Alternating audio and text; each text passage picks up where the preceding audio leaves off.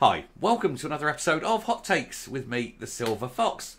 Now, after Douglas Ross resigned as the leader of the Scottish Tories, there was that little bit of a power vacuum. But fortunately, because nature abhors a vacuum, uh, Murdo Fraser sort of kind of stepped up and said he would consider running for leadership. It gave someone there. And had it just stayed like that, there would have undoubtedly been a little coronation. He'd have been the new leader. Things would have ticked along nicely. However, and as the Tories main party down in England discovered when they imposed Rishi Sunak on the members without a vote, because um, there was a vote they, they put in uh, Liz Truss, but of course they didn't like it in, in, in Parliament, so they made sure that she was out and then they imposed Rishi. That doesn't go down very well with the members. It was like a cup of cold sick, and the members made sure they knew it at the election. Uh, yeah, don't piss off your members. So to impose that sort of coronation, it's fine if that's what everyone wants.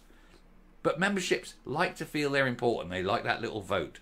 So fortunately, Russell Findlay has stepped forward. He's offering an alternative as well. If they have the two of them, they can go to the party membership and say, your choice. And whoever wins, wins. Move on. Whoever loses, backs the winner. Make it a clean fight. There's no dragging skeletons out of cupboard, no backstabbing. You've seen how bad that can be after Sturgeon left the SNP. It was an awful, bloody mess. You don't want that. You want it to be quick, clean, move on. That's the secret.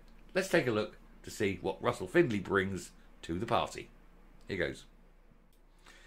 So, Russell Findlay makes Conservative leadership pitch as a backlash emerges against Murdo Fraser's plans. Whatever his plans are. Uh, the former journalist said his party could no longer be defined just by being against independence, but had to offer a positive vision of conservatism. Well, that's in this day and age is going to be quite a, a hard ask, I think. Um, people have made it clear that uh, you know the, the 14 years or so of conservatism uh, at Westminster has not gone down very well. Um, they have rejected it, so it's going to have to be a slow burn. I think you know that, that's the way to do it um, and hope, of course, that Labour will make mistakes. Uh, although, um, spoilers, Labour will make mistakes and already have. Uh, anyway, Russell Findlay has made an early pitch for the Scottish Tory leadership as he called for a positive vision of conservatism in the country. The West Scotland MSP has emerged as the frontrunner in the battle to replace Douglas Ross. Now, of course, Ross uh, fell into disfavour by sort of the problem he had with Duguid, David Duguid, and Duguid being ill in hospital or whatever, and Ross basically uh, turfing him out of a seat and going and standing for himself. A seat he should otherwise have won. David Duguid would probably have won the seat, but people were so annoyed at what uh, Douglas Ross did that he lost it. Not by much, it must be said, but he lost it nonetheless. Uh, he accused the party of focusing too much on what we are opposed to in the past few years, as opposed to setting out the positive case for modern popular conservatism. Yeah, if all you can do is oppose and reject uh, and rail against, then people do see you as a sort of a protest party, um, and you get the protest vote. But you don't want a protest one. You, you vote. You well, you take the protest vote, but you also you want the build vote. Do this and build. We, if you us in, we will, and so forth. Much more positive. Uh, the former journalist said the Tories could no longer be just defined by our opposition to independence, but had to offer policies which reflect our values and a positive change we want to bring to the lives of people across Scotland. Well, everyone's life in Scotland will automatically improve, even though it, Labour are awful, simply by not having the SNP in control. Now, you've very well done. You've got rid of one. Uh, one you fought, fought and won one battle, Westminster.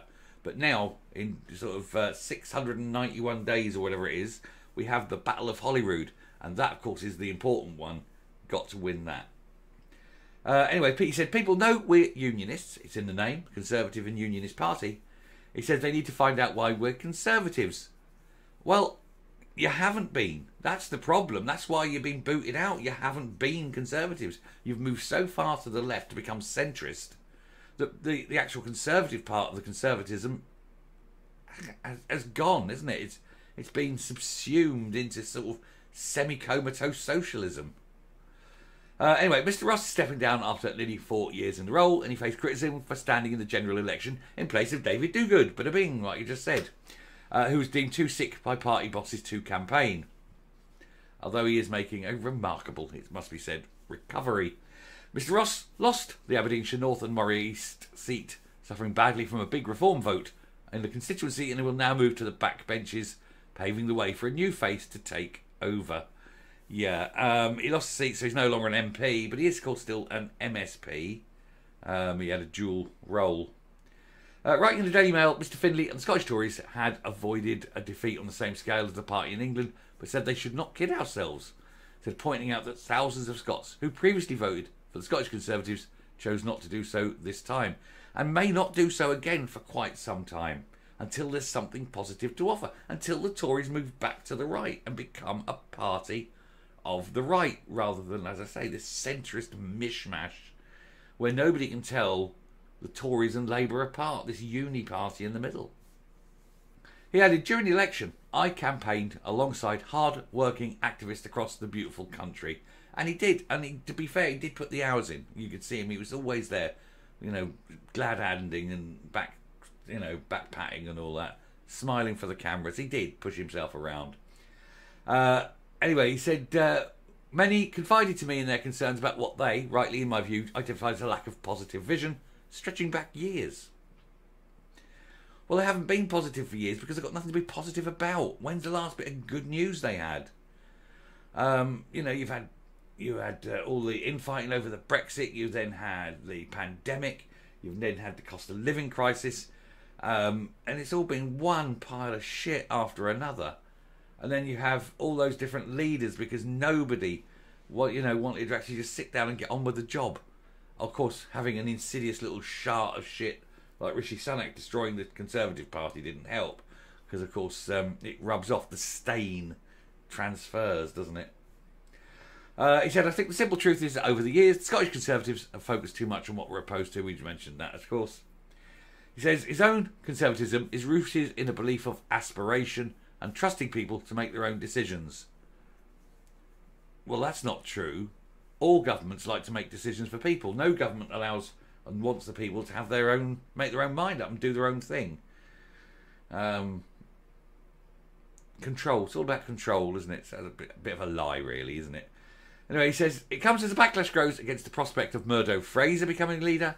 The Mid Scotland and Fife MSP stood in 2011 on a platform of splitting from the UK party and forming a new, entirely purely focused on Scotland. Yeah, I mean, this is the thing. The the Scottish Tories are only a branch of the Conservative Party, as opposed to Scottish Labour being totally separate from the Labour Party.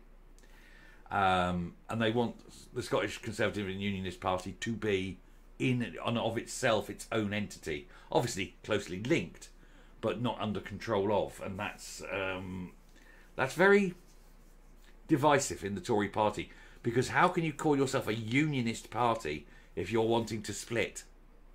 It kind of the clues in the name, isn't it? Anyway, uh, we'll, we'll round off there. We'll come up and uh, finish the video. So yeah, throw the pair of them up. Throw their, um, you know, uh, Murdo Fraser. Throw up uh, Findlay. Let's see who the members choose. But the important thing is, A, there is a choice. And B, whoever loses backs the winner fully and moves on. Otherwise, they're finished. I don't think they should split. I think it would be very silly for them to split from the main party because it kind of ruins the name Unionist, doesn't it?